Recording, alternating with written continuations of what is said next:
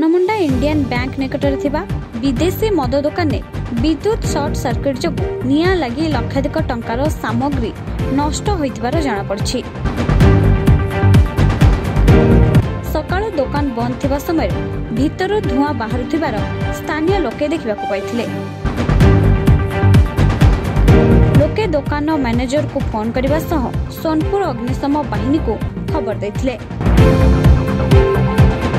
ଖବର ପାଇ ତୁରନ୍ତ ଘଟଣାସ୍ଥଳରେ ସୋନପୁର ଦମକଳ ବାହିନୀ ପହଞ୍ଚି ନିଆଁକୁ ଆୟତ୍ତ କରିଥିଲେ।